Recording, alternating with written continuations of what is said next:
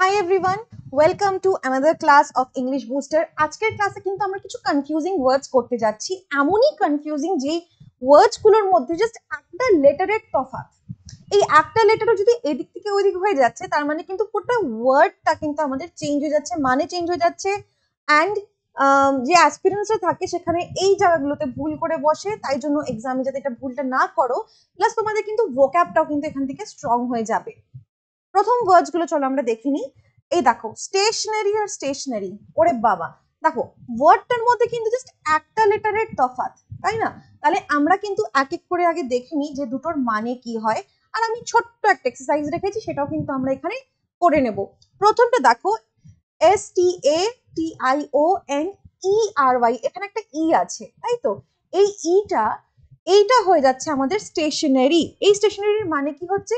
আমরা যে রাইটিং বা আমরা লেখালেখি করার জন্য যেই জিনিসগুলো ইউজ করি, যেরকম কি pen pencil rubber eraser scale বা হচ্ছে এনভেলপ খাতা, বই এই সব যে দোকানগুলো তোমরা দেখো বা এইসব যে জিনিসগুলো দেখো অফিস অফিস অ্যাক্সেসরি সেগুলো কিন্তু আমাদের আমরা বলি স্টেশনারি রাইট তাহলে আমরা এখানে লিখতে পারি writing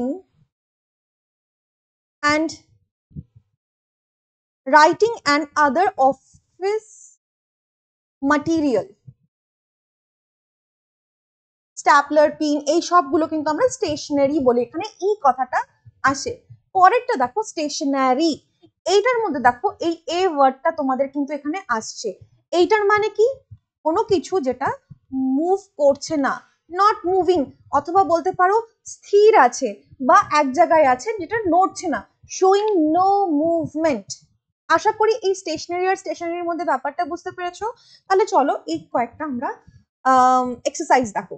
The bus crashed into a dash vehicle তাহলে একটা বাস যে কিনা ধাক্কা খেয়ে গেছে, এমন একটা ভেহিকল সেটা কি হতে পারে এই ক্ষেত্রে? কোন স্টেশনারি হতে পারে? স্টেশনারি তাই তো? এস টি এই এটা আসবে। তার মানে কি এটা নট মুভিং এমন একটা ভেহিকল এমন একটা গাড়ির সঙ্গে ধাক্কা খেয়েছে, যেটা কিনা চলছিল না, স্থির ছিল বা পার্ক করা ছিল, সেটার সঙ্গে বাসটা এসে ধাক্কা খেয়েছে পরেরটা দেখো he has a range of range of আমরা কি বলতে পারি? ওর কাছে অনেকগুলো স্টেশনারি এখানে এটা আসবে। স্থির জিনিস আছে এটা তো আমরা বলতে পারি না। তাহলে কি হতে পারে? যেরকম আমার কাছেও কিন্তু প্রচুর পেন পেন্সিল খাতা, বই নোটপ্যাড তারপরে হচ্ছে টু ডু লিস্ট তারপরে এনভেলপ পিন পেপার ক্লিপ এই সব যে জিনিসগুলো আমরা থাকে, সেগুলোকে কিন্তু আমরা স্টেশনারি বলি। তাহলে আমার কাছেও কিন্তু অনেকটা রেঞ্জ অফ স্টেশনারি আছে। So we can write here stationery এখানে এই ইটা আসবে। জাস্ট ওয়ার্ডসগুলোর মধ্যে কিন্তু তোমরা একদম কিন্তু কনফিউজ হয়ে যেও না সো দ্যাট তোমরা কিন্তু খুব ভালো মতন তাহলে যদি ওয়ার্ডস গুলোকে শেখো, তাহলে ভোকাবো স্ট্রং হবে, আর কিন্তু কনফিউজ হবে না এই ওয়ার্ডস গুলোতে as the name suggest it's a confusing word okay next চলো নেক্সট দেখো। কমপ্লিমেন্ট আর কমপ্লিমেন্ট এই কমপ্লিমেন্ট যেটার মধ্যে ই আছে, এই যে যেটাতে তোমরা দেখতে পাচ্ছ এখানে ইটা আর এখানে দেখো একটাতে আই আছে, বাকি কিন্তু পুরোটা spelling same pronunciation same right তাহলে প্রথম কমপ্লিমেন্টটা দেখো C O M P L E M E N T এইটার মানে হচ্ছে এমন একটা জিনিস যেটা কিনা আরেকটা জিনিসের সঙ্গে যুক্ত হচ্ছে বা আরেকটা জিনিসের কোয়ালিটিটাকে ইমপ্রুভ করছে। এবার আমি তোমাদেরকে একটা এক্সাম্পল দিই। বিরিয়ানি খেতে সবাই ভালোবাসো বাট আমি যদি তোমাদেরকে এক প্লেট বিরিয়ানি দিয়ে দিই, তোমরা হয়তো ভালো পেয়ে খেয়ে নেবে, কিন্তু হোয়াট ইফ আমি যদি তোমাদেরকে ওই বিরিয়ানির সঙ্গে একটা কোক একটা কোল্ড ড্রিঙ্কস বলো, অথবা একটা কাবাব বলো রায়তা বলো, পাপড় বলো স্যালাড বলো, এত কিছু দিয়ে তোমাকে যদি আমি বিরিয়ানিটা দিই খেতে, তাহলে তোমার কেমন লাগবে? প্রচণ্ড ভালো লাগবে। কেন জানি মনে হবে তখন যে বিরিয়ানির এনহ্যান্স মানে কম মানে এই যে টেস্টটা বা এই গোটা ডিশটার কিন্তু এনহ্যান্স হলো ইমপ্রুভ হলো। তাহলে একটা জিনিস, একটা আইটেম বা কোনো একটা জিনিস যেটার মধ্যে কিনা আরও জিনিসপত্র ঢুকে বা আরও কোনো কোয়ালিটি এসে সেটার আসল জিনিসটার কোয়ালিটিটাকে এনহ্যান্স করে দিল, বাড়িয়ে দিল, সেইটা হচ্ছে complement a thing that contributes extra ঠিক আছে? এক্সট্রা যখন কন্ট্রিবিউট করছে এক্সট্রা ফিচার যখন আনছে to something in such a way এমন ভাবে আনছে যেটা কিনা ওই জিনিসটার কিন্তু কোয়ালিটিটাকে আরও বাড়িয়ে দিচ্ছে, তখন আমরা এই কমপ্লিমেন্ট কথাটা ইউজ করব। আর এই কমপ্লিমেন্ট কথাটার মানে হচ্ছে কি? কারোর তারিফ করা, কোনো প্রশংসা করা, ঠিক আছে? মানে হচ্ছে কি? প্রশংসা করা বা কারও তারিফ করা। তখন আমরা বলি কমপ্লিমেন্ট আর তখন যে compliment thanks for your compliment right এই টাইমে কমপ্লিমেন্ট আমি কি ইউজ করব? C O N P L I M E N T I কথাটা তখন কিন্তু বসবে। তাহলে চলো একটা এখানে কিন্তু আমি তোমাদেরকে একটা ইন্টারেস্টিং একটা এক্সারসাইজ রেখেছি। এই দেখো। It took it as uh, sorry i took it as a dash that the audience requested encore আমি এটাকে একটা কীভাবে নেব? যখন অডিয়েন্সটা আমাকে ওয়ান্স মোর ওয়ান্স মোর আমরা করি না সেটাকে এনকোর বলে। কোনো কিছুকে রিপিট করতে বা অ্যাডিশন করতে যখন আমরা বলি, খুব ভালো পে, খুব আনন্দে তখন কিন্তু এটাকে আমরা এনকোর বলি in the in this case একটা পারফরমেন্সের কেস ওটা হতে পারে কি ওয়ান্স মোর ওয়ান্স মোর আমরা কিন্তু বলতে পারি। তাহলে এটা কি? লোকে কখন বলবে ওয়ান্স মোর আরেকবার আরেকবার, কখন বলবে? যখন সে প্রশংসা করছে বা তাদের জিনিসটা এতটাই ভালো লেগেছে, তাহলে এখানে কোন কমপ্লিমেন্ট হবে? C O M P L I M E N T এই কমপ্লিমেন্টটা কিন্তু এখানে হবে। পরের সেন্টেন্সে দেখো the lightning O the lightning was the perfect dash to the decor মানে এমন একটা কিছু যেটা সাজানো হয়েছে, সেইখানে লাইটনিংটা যেন ব্যাপারটাকে আরও সুন্দর করে তুলেছে। কোনো একটা জিনিস ডেকর মানে কি? কোনো একটা সাজানোর জিনিস বা কোনো একটা জায়গা সাজানো হয়েছে, ভাবো।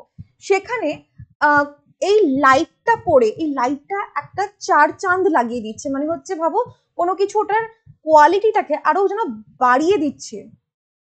অনেক সময় আমাদের এখানে হয়, তাই না? যে আমরা কোনো একটা জিনিস সুন্দর করে সাজালাম, কিন্তু কিছু একটা ডাল লাগছে ব্রাইটনেসটা কম মনে হচ্ছে। তখন যদি একটা খুব সুন্দর ফোকাস লাইট বা খুব সুন্দর একটা টুনি বাল্ব লাগিয়ে দিলাম, তখন কি হয়? ব্যাপারটা এনহ্যান্স করে। তাহলে আমি কিছুক্ষণ আগে তোমাদেরকে বললাম যে, কোনো কিছু যখন কোয়ালিটি এনহ্যান্স করে দেয়, তখন আমরা ওটাকে বলব কি? Complement C M P L E M E N T এই যে কমপ্লিমেন্ট আর এখানে দেখো আই এটা হচ্ছে প্রশংসা, এটা হচ্ছে কি? সাথে এমন কিছু অ্যাড করে দিতে যাতে কিনা ওটার কোয়ালিটিটাকে আমরা বাড়িয়ে দিতে পারি কমপ্লিমেন্ট ওকে নেক্সট দেখো দ্যাট হ্যাট ওই টুপিটা is the perfect dash to your outfit তাহলে বুঝতে পারছ আউটফিট মানে আমার পুরো জামাটা, পুরো জিনিসটা, জামা, জুতো carry bag hand bag whatever তোমরা বলো সব কিছু নিয়ে যেন হ্যাটটা ওই টুপিটা যেন আরও এই সৌন্দর্যতা বা এই যে ব্যাপারটাকে আরও পারফেক্ট করে তুলছে। তাহলে এই যে পারফেক্ট করে তুলছে, সেটা কি হয়ে যাবে আমাদের? কমপ্লিমেন্ট কমপ্লিমেন্ট বোঝা গেল?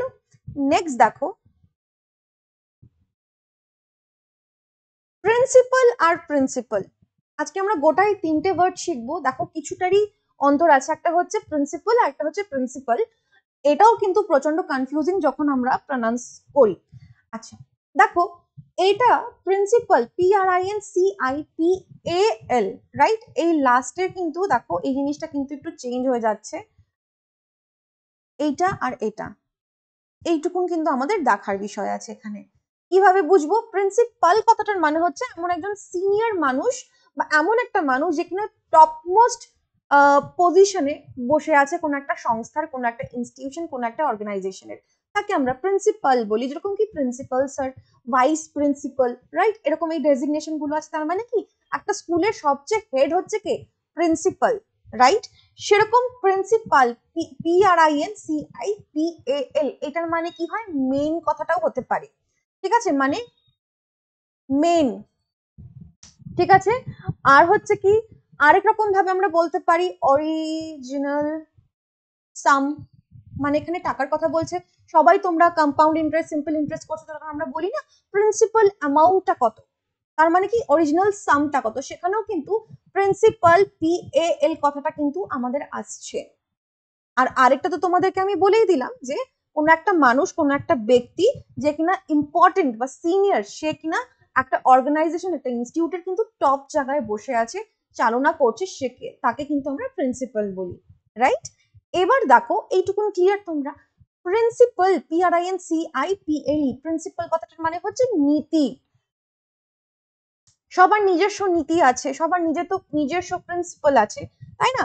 আর আমরা এটাকে ফান্ডামেন্টাল ট্রুথও বলতে পারি। ঠিক আছে? সবাই ক্লিয়ার এবার দেখো, একটা এক্সারসাইজ দেখো। শি রিজাইন্ড মানে সে ওখানে, ওখান থেকে ছেড়ে দিয়েছে সেখান থেকে রেজিগনেশন দিয়ে দিয়েছে। ওভার আ ম্যাটার অফ কি হতে পারে? প্রিন্সিপাল বা কোন প্রিন্সিপাল হতে পারে? একটা প্রিন্সিপাল মানে আমি তোমাদেরকে বললাম মেন বা হচ্ছে মূল সংখ্যা বা মূল মানে আসল মূল্যটা অথবা একটা প্রিন্সিপাল যেখানে টপ জায়গায় বসে আছে। তাহলে এখানে ম্যাটার অফ কি হতে পারে? নীতি চলে আসতে পারে, তাই না? তাহলে এখানে আমরা ইউজ করব প্রিন্সিপাল নীতি। নিজের সঙ্গে ভাবো, ওই নীতিতে কোনো কিছু যাচ্ছে না। তার মনে হচ্ছে এটা হওয়া উচিত না। তাই জন্য সে ওখান থেকে রিজাইন করে দিয়েছে, ওখান থেকে ওখানে ছেড়ে দিয়েছে। এইটা হচ্ছে আমাদের অ্যান্সার এর পরের সেন্টেন্সটা তোমরা দেখো the dash character in her book is a ghost তার বইতে যে আসল ক্যারেক্টারটাকে একটা ভূত, একটা ঘোস্ট তাহলে এখানে আসল মেন তাকে সেটা বলতে যাচ্ছে রাইট তাহলে আমি কিছুক্ষণ আগে তোমাদেরকে বললাম মেন বা মূল, সেই জিনিসটাকে আমরা কোন প্রিন্সিপাল দিয়ে বোঝাবো? এই প্রিন্সিপাল দিয়ে বোঝাবো। মেন মূল এখানে বলছি কি? মূল ক্যারেক্টারটা ঠিক আছে? মূল কিরদার, ঠিক আছে? এইভাবে আমরা এটাকে বলতে পারি। অ্যাকচুয়ালি যে মূল এখানে ক্যারেক্টার ছিল, সে এই বইটার মধ্যে কি একটা ঘোস্ট আশা করি তোমরা সবাই বুঝতে পেরেছ, কিন্তু এখানেই কিন্তু এই ক্লাসটা শেষ হচ্ছে না।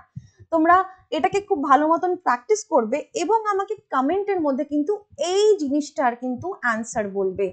Be fair is a dash that guides most of the people and business.